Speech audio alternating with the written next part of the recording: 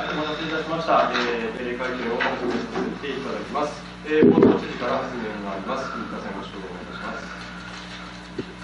はい、えー、今日はあの今年初めての定例ということになります。えー、今年も1年間またよろしくお願いいたします。えー、まあ最初ですが、あ皆さんもご存知のように、え能登半島地震について発表させていただきます。えー、今回の地震によりまして石川県で多くの方がお亡くなりになられるとともにまた能登に帰省しておられた富山県民の方も方もお亡くなりになりました。心からご冥福をお祈りいたします。また多数の重火被害をはじめ甚大な被害が発生しておりまして被害に遭われた皆様方には心からお見舞いを申し上げます。1月1日の午後4時10分に発生しました石川県能登地方を震源とする地震によりまして富山県内では観測史上初となる震度5強という多くの県民の皆様がこれまで経験したことのない揺れとなりました。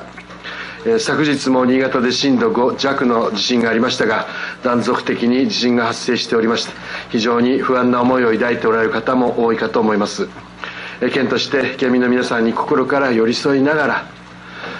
被災された皆様には一日も早く日常生活を取り戻せるように全力を挙げて支援に取り組んでおりますが本日は被害の状況及び被災者支援の状況について、えー、取りまとめてご報告をさせていただきます。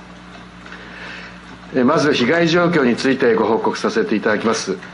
人的被害については昨日の発表から変わりはなく重傷3名、えー、軽傷38名の合計41名となっています。続いて重火の被害です。本日11時時点の速報値で全壊が16棟半壊が22棟一部破損が1257棟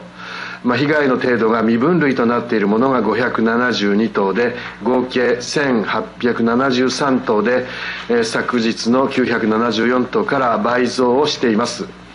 これはこれまで報告が上がってこなかった富山市また射水市の重火の被害が明らかになったことによるものでありまして今後も調査が進むごとに数が増加していくことが見込まれます。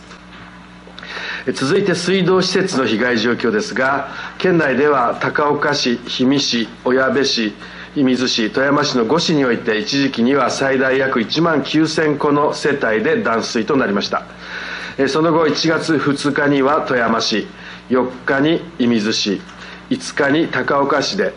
また昨日9日に小矢部市で復旧しておりまして残るのは氷見市の4250世帯となっています、えー、この間応急給水場所の設置や日本水道協会からの応援による給水車支援などを行ってきたところですが断水はもうしばらくかかると見込まれています。現では今後も氷見市の排水拠点であります上田子排水池まで計画量を超えた水量を供給していますが引き続き送水能力の限度での限度までの限度いっぱいの供給を継続していきたいと考えております。氷見市や関係機関と連携の上最大限の協力をしてまいります。続きまして避難所の開設状況です。発災直後1月2日の午前5時の段階では最大で約330箇所1万5000人を超える方々が避難所に避難されていましたが本日11時時点では2市で2つの市で94名の方が避難しておられます。これまで市町村では避難所の集約が行われるとともに避難者の公営住宅への入居などの支援を行ってきたところですがここ何日かは避難者の数があまり変わらない状況であり避難所の開設もしばらく続く見込みであるとお聞きをしております。避難されている方のニーズを聞き取った上で丁寧な対応に努めてまいります。これまで被害の状況等をご報告してまいりましたが続いては被災被災市町村への人的支援の状況を報告します。まず昨日の第6回災害対策本部委員会議でもご報告しましたが総務省による応急対策職員派遣制度によりまして氷見市には福島県が高岡市には広島市がそれぞれ罹災証明書関係事務などをご支援いただくことになりました。派遣人数及び期間については支援団体と現在調整しているところですが氷見市には月末まで高岡市にも一定期間派遣いただくこととなるなります。支援団体である福島県及び広島県に広島市には心から感謝を申し上げたいと存じます。また罹災証明書関係事務などでは氷見市からの要請を受けまして1月6日から26日にかけて計13名の県職員を派遣しております。他にも農林水産部においては氷見市のパイプラインで漏水の可能性があることから農林水産省と連携して被災状況を確認する調査チームを立ち上げ高岡農林振興センターへ県職員を10名、派遣することとしています。また県と国の連携による迅速かつ円滑な支援体制の構築のため、えー、昨日から農林水産省の職員が本県に常駐をいただいております、えー、土木部においても都市計画から計画課から氷見市に職員2名を本日から派遣をいたします。このほか正確な数は把握しておりませんが被災市町村では県内外の市町村から応援職員を受け入れているというふうにお聞きします、まあ、これはもうそれまでの例えば姉妹都市でありますとかあるいは友好提携とかそのようなこれまでの関係から遺体でやっておられることでございます。現時点では総務省からの支援を含めて氷見市高岡市への支援を実施していますが今後特に罹災証明書関係業務の逼迫などにより市町村から要請があれば全庁を挙げて最大限の支援を行ってまいります。続いて先般1月4日令和6年能登半島地震による被災者支援パッケージを発表したところですが9日昨日の17時時点での主な進捗状況を報告します。まず被災者の生活確保について県営住宅への入居がすでに5件さらに入居予定が5件決まっておりまして8件が入居を検討しておられます。また住居の住宅の応急修理や生活必需品の給与貸与が市町村で順次受付を開始されるとともに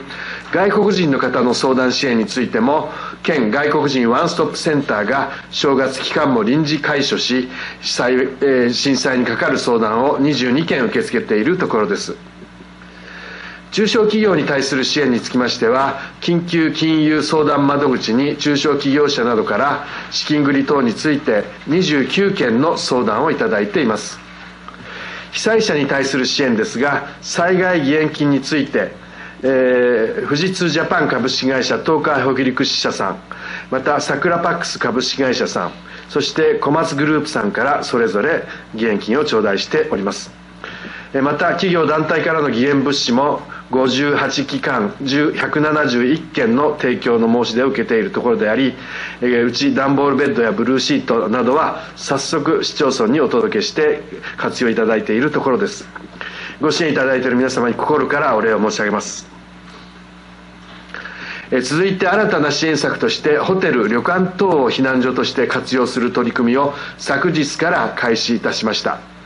対象者は災害救助法適用市町村のうち避難所での避難生活が長期にわたる場合であり市町村が手配したホテル旅館等を費用負担なしで利用いただくものです。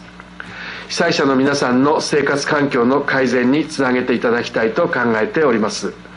なお石川県からの避難者のホテル旅館等への受け入れについては今後検討してまいります。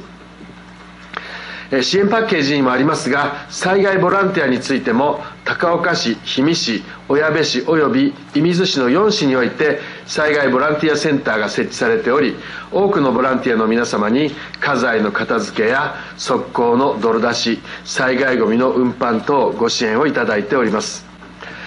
高岡市小矢部市水市では多くの方に登録していただいており受付を現在一時停止するほどの状況となっております。また地震が断続的に発生し雪も降るなど大変厳しい環境の中ボランティアの皆さんをはじめとしたご尽力に感謝申し上げます。県として一人でも多くの方にボランティア活動に参加いただけるよう支援をしてまいります。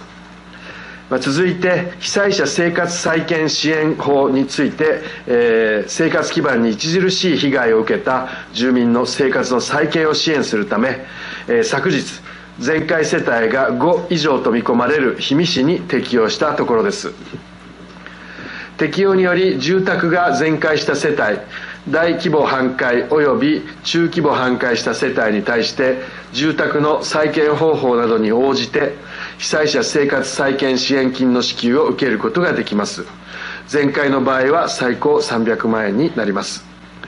また被災された受験生への宿泊費助成制度を新たに創設しました。今回の地震により家屋の損壊のほか断水などの自由により生活上の支障が生じ受験に際してホテル旅館などでの全泊を希望する受験生に対して宿泊費用を1泊1人当たり1万円助成させていただきます。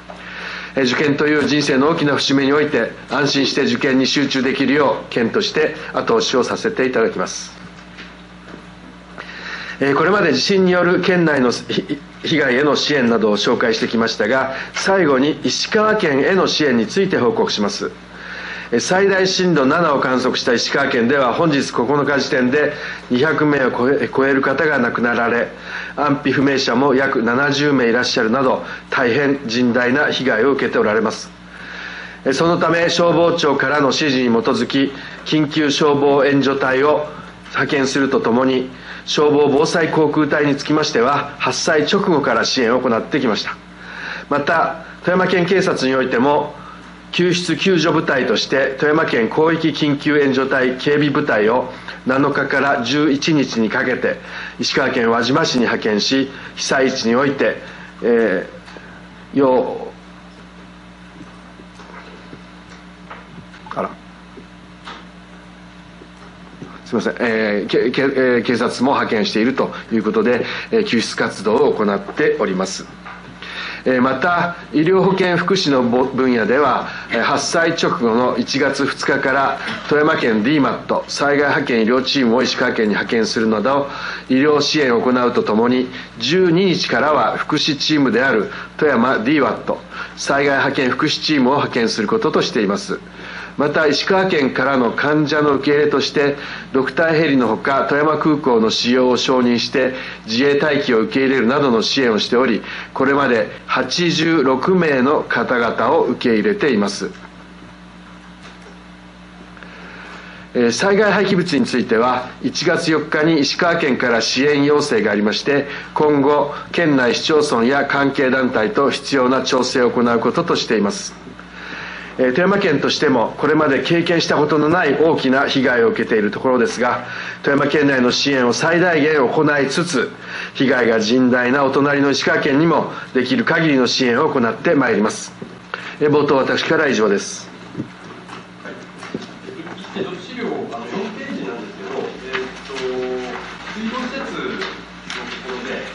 先ほど4250個断水と申し上げましたけど正確には2復旧個数が4250でそのうち断水個数は3590ということになります。で残りの660は生活用水としては水は来てるけれどもまだあの飲料水としては使えないと。いうものが660ということになってますので、えー、一応ご説明させていただきます。よろしくお願いします。